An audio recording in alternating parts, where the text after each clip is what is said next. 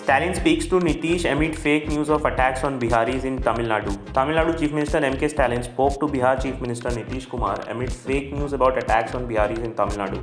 AAP holds protest as CBI produces Manish Sisodia in court. Aam Aadmi Party workers stage a protest demanding the release of Sisodia as he was produced in court.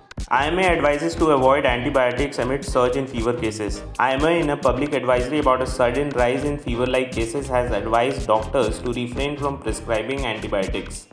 West Bengal Congress spokesperson arrested for alleged remarks against Mamta. West Bengal Congress spokesperson Kaustubh Bagchi was arrested for allegedly making defamatory remarks against West Bengal Chief Minister Mamta Banerjee. Russian Defense Minister pays rare visit to troops in Ukraine. Russian Defense Minister Sergei Shoigu paid a rare visit to Russia's forces deployed in Ukraine, his ministry said.